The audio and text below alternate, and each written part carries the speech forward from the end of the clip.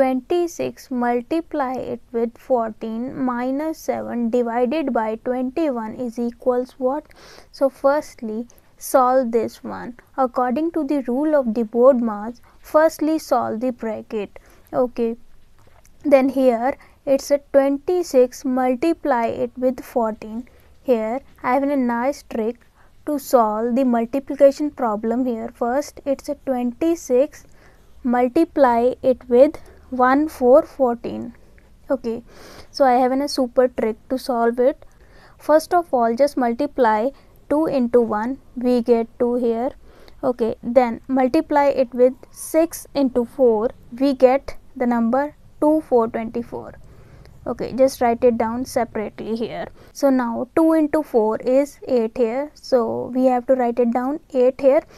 1 into 6 we get 6 here okay now just add them up. 8 plus 6 is equals 14 so we have to write it down. 1 the first digit write it down here separately.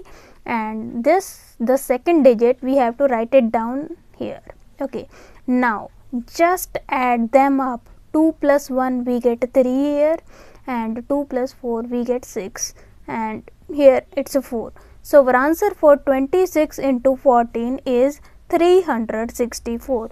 So we have to write it down 364 minus 7 divided by 2 121. So here 364 minus 7 we get 357 divided by 21 now it goes on the table of 7 here it's a 7 3 is a 21 and here 7 5 is a 35 and here 7 1 is 7 okay now it goes on the table of 3 here.